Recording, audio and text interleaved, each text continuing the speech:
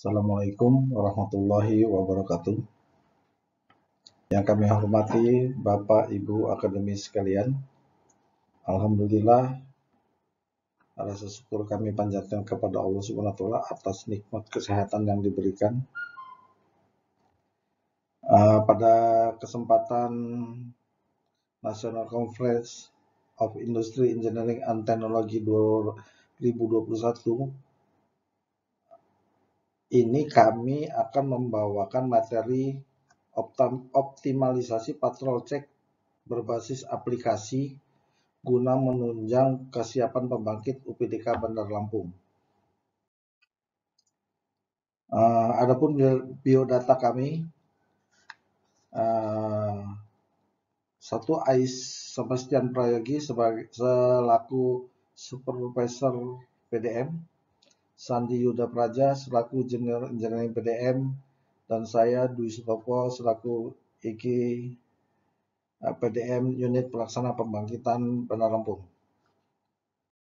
Wilayah kerja pembangkitan Bandar Lampung membawahi empat jenis pembangkit yang tersebar di enam wilayah kerja sektor Bandar Lampung.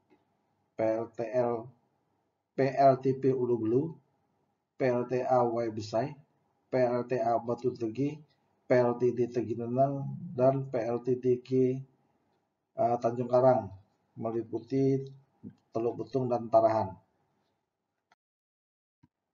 Proses bisnis pembangkitan yang kami kelola dapat disederhanakan dalam mapping ini, yang mana difokuskan pada kesiapan unit pembangkit, kehandalan unit pembangkit, efisiensi manajemen, dan sistem manajemen terpadu. Pada kesempatan kali ini, kami fokus pada sub bidang operation manajemen dengan mengoptimalkan kegiatan patrol cek pembangkit di wilayah kerja kami. Uh, untuk selanjutnya akan dilanjutkan oleh rekan saya, Ais. Terima kasih. Selanjutnya, pengertian dari patrol check sendiri. Patrol check merupakan kegiatan rutin yang dilaksanakan oleh bagian operasi pembangkit. Tugasnya melakukan pencatatan parameter informasi yang ada pada kertas logsit harian. Kegiatan ini menunjang kesiapan peralatan pembangkit secara real time. Dengan pelaksanaan patrol check secara rutin juga dapat mendeteksi secara dini kegagalan peralatan. Adapun latar belakang yang kami ambil, yang pertama, belum optimalnya trending data patrol check pengumpulan logsit di mana masih dilakukan secara manual. Yang kedua, belum ada monitoring kesiapan pembangkit secara real time.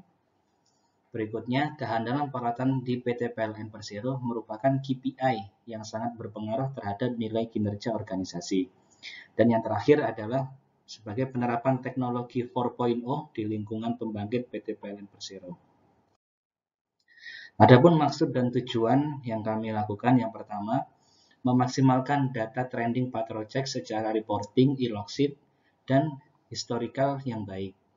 Kedua, terdapat monitoring kesiapan pembangkit, ada peralatan emergency, K3, dan pembangkit secara real time dan dapat diakses dengan mudah. Kemudian memudahkan pengecekan peralatan yang dibuktikan dengan dokumentasi foto yang memastikan operasi melakukan patrol check di aset pembangkit tersebut. Dan yang terakhir adalah menjaga kehandalan pembangkit yang ada di PT PLN Persero UPDK Bandar Lampung. Adapun metodologi yang kami gunakan dalam optimalisasi kegiatan patrol check adalah sebagai berikut. Yang pertama, kami melakukan wawancara tim operasi dan mendapatkan feedback pekerjaan. Kemudian kami melakukan penyusunan maintenance strategi yang dibantu oleh tim engineering dan mengaplikasikan metode yang ada ke dalam suatu perangkat yang kami beri nama OPC Smart Kit sebagai solusi dari kegiatan pattern check di kami. Kemudian kami melakukan pengujian, sosialisasi, dan training setelah aplikasi di web ini terpakai. Dan berikut adalah menu aplikasi OPC Smart Kit yang kami deploy di pembangkit kami. Aplikasi ini berbasis di sistem Android yang bisa diinstal di HP operator dengan user dan otoritas masing-masing sesuai fungsinya. Pada, pada aplikasi ini, tim operasi dapat memilih equipment yang akan dilakukan patrol check. Terdapat menu peralatan pembangkit, peralatan K3, peralatan emergency, dan pada gambar ini kami menunjukkan fungsi peralatan K3 sebagai contohnya. Dan akan muncul list peralatan K3 yang siap di patrol seperti APAR, hidran, diesel, emergency, dan lain-lain. Setelah tim operasi memilih peralatan yang akan dicek, aplikasi ini akan menunjukkan list peralatan yang siap untuk dicek sesuai dengan jadwal yang sebelumnya telah dibuat. Aplikasi akan memerintahkan untuk scanning dengan kamera merujuk pada barcode tagging pada equipment tersebut.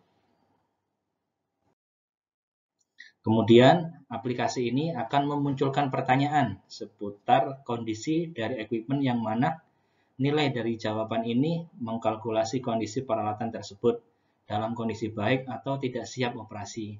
Kurang lebih setiap pertanyaan eh, terdapat bobot kurang lebih 20% setiap pertanyaan dan sebagai evidence telah dilakukan aplikasi ini dirancang dengan menggunakan pendokumentasian yang membuktikan bahwa kegiatan patrol check telah dilakukan pada waktu tersebut. Hal ini tentunya mendisiplinkan proses patrol check di lingkungan pembangkit.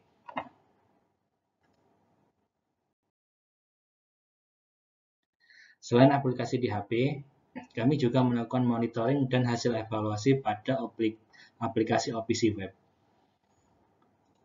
Presentasi berikutnya akan dilanjutkan oleh Mas Andi. Baik, terima kasih akan saya lanjutkan.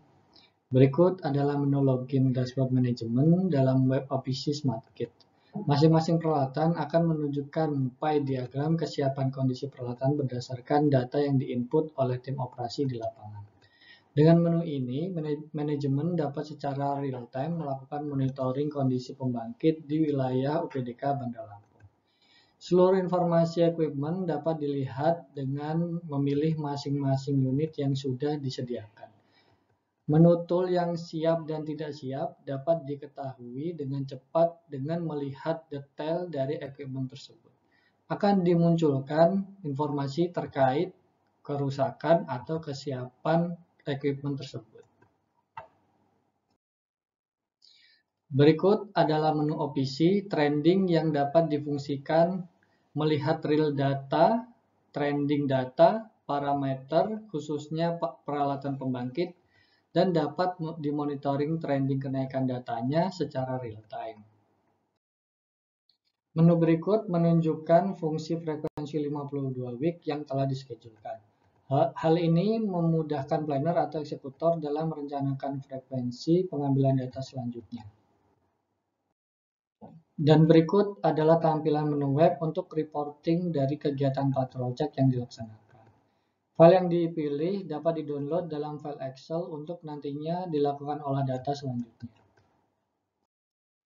Kesimpulan dari uh, karya ilmiah kami ini yang pertama adalah transformasi proses patrol check yang berjalan di PT PLN Persero, unit pengendalian pembangkitan baru Lampung, yang dari manual menggunakan logsheet menjadi penerapan teknologi dengan aplikasi OPC SmartKit.